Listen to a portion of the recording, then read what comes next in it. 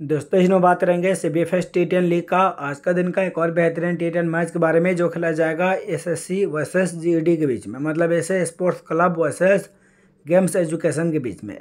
मैं आपको एक चीज़ यहाँ पे क्लियर कर दूँ कि इनकी टीम ने रिसेंट में C B F S T ten का टूर्नामेंट खेला था, दोस्तों, जहाँ पे इनकी टीम से ने खेले थे।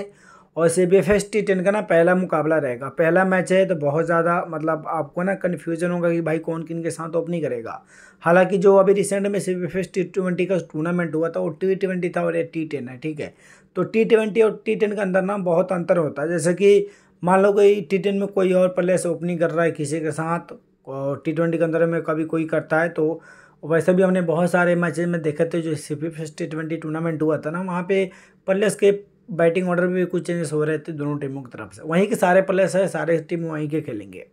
इस वीडियो में आपको आरपीएल का स्टैट्स बैटिंग ऑर्डर बताऊँगा, कौन कितने ओवर डाल के देगा स्मॉली के पिक ग्रैंड लीग के पिक हर एक कोई चीज़ बताएँगे, जिससे आप एक बेहतर वाली खुद से आप टीम बना पाओ। चाहे आप स्मॉली की टीम बना रहे हो, चाहे ग्रैंड लीग की टीम बना रहे हो। मतलब आपको ए टू जेड है ना इन्फॉर्मेशन बताएँगे दोस्तों। ठीक है।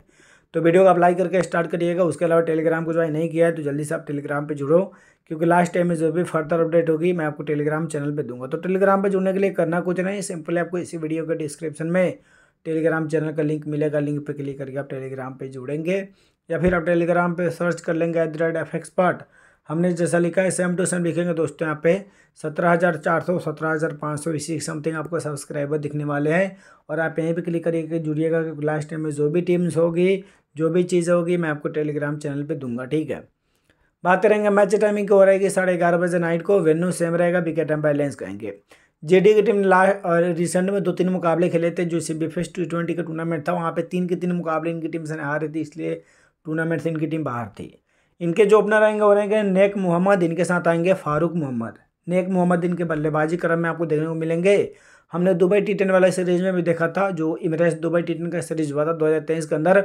चार मैच में छब्बीस रन करे थे। मेरे को लग रहा है ना कि भाई खेलेंगे तो ओपनिंग करा कर देंगे। और टी टेन के अंदर आपको पता है यार, ओपनिंग जो प्लेस कर रहा है, पंद्रह से बीस स्कोरिंग करें, देंगे टी टेन के अंदर तो उनका पॉइंटर्स बहुत ज़्यादा हो जाता है। तो मैं आपको अगेन बता रहा हूँ कि नेक मोहम्मद को आप ग्रैंड लीग वगैरह की टीम में बैटिंग सेंस से लीजिएगा।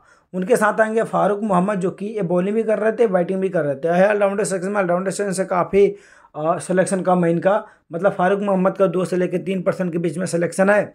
और इन्होंने पहले लगे में बाईस रन, दो, तीन ओवर लास्ट लगे में छः रन, दो ओवर समर टी ट्वेंटी वाला सीरीज़ में चार मैच में चौहत्तर रन था प्लस चार विकेट था। फारूक मोहम्मद बॉलिंग बैटिंग दोनों करेंगे।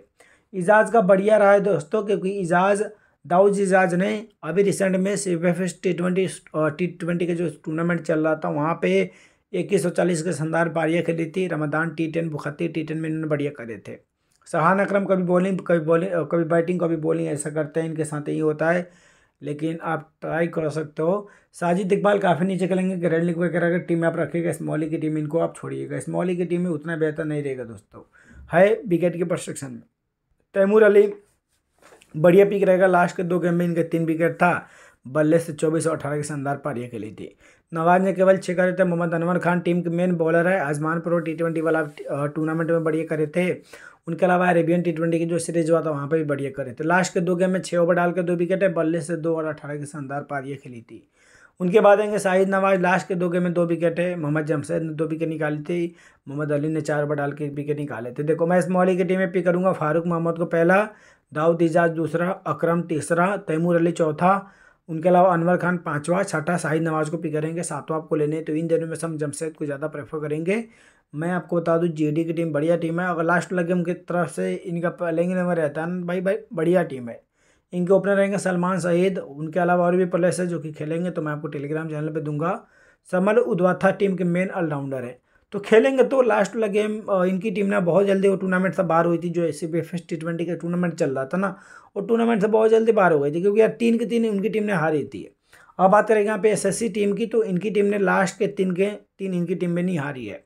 इनके जो ओपनर तो होते मोहम्मद इमरान, इनके साथ आए थे कमर हुसैन। मोहम्मद इमरान इनके विकेट कीपर बल्लेबाज है विकेट कीपर सेक्शन में आपको लेवल देखने को मिलेंगे। और जो सी बी टी ट्वेंटी का टूर्नामेंट चल रहा था, वहाँ पर इन्होंने ज़ीरो तीस के शानदार पारियाँ खेली थी। पहले बहुत शानदार है, रुक गया, बहुत तगड़ हार्ड हिटर है। कमर हुसैन ओपनिंग करा के देंगे, अगर ओपनिंग मतलब खेलते हैं तब ओपनिंग करेंगे। हाई बैटिंग में सिलेक्शन बहुत ही कम है, लेकिन खेलेंगे तो आप डिसेंट पिक के तौर पर पिक करिएगा। उस्मान वांगेस सत्ताईस दो और पाँच कर रहे थे ग्रैंड वगैरह पिक करा रहे क्योंकि विकेट के परसेंट हमने ऑलरेडी इमरान को पिक करा है तो इनको छोड़ेंगे।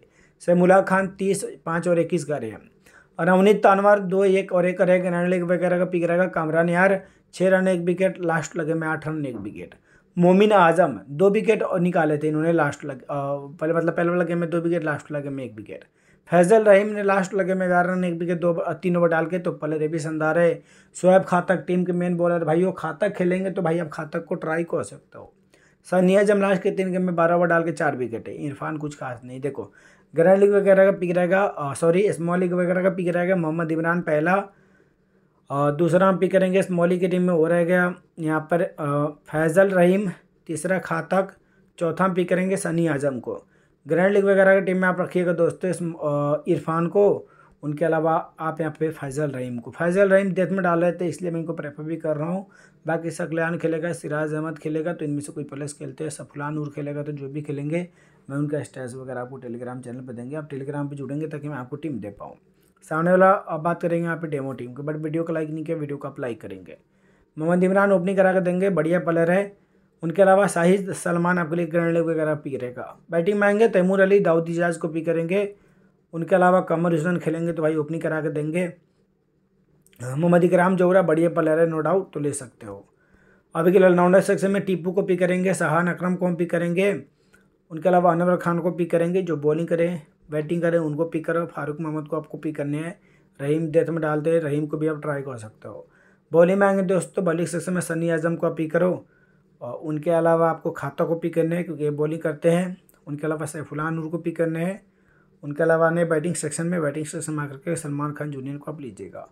मैंने टीपू को कैप्टन कर लिया सहान अक्रम को मैंने वीसी नहीं करना, मेरे को करना है अनवर खान को वीसी मेरा डेमो टीम मैं फाइनल टीम टेलीग्राम चैनल पर आपको दूँगा, टेलीग्राम पर जुड़िएगा ताकि मैं आपको टीम दे पाऊँ। वीडियो पसंद आई तो वीडियो को आप लाइक करना, चैनल पर नहीं हो आप सब्सक्राइब कर लेना दोस्तों। Best of luck.